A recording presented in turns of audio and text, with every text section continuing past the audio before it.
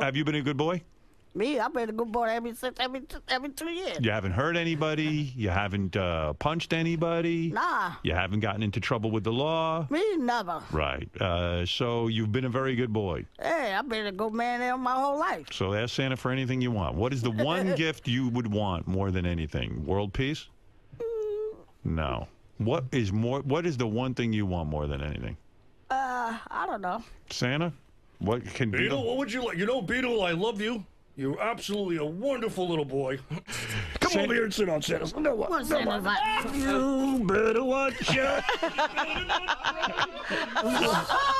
Merry, Merry, Merry, Merry Christmas. What the fuck are you talking about, man? You know, Beetle, Santa loves you so much. You've entertained so many people around the world.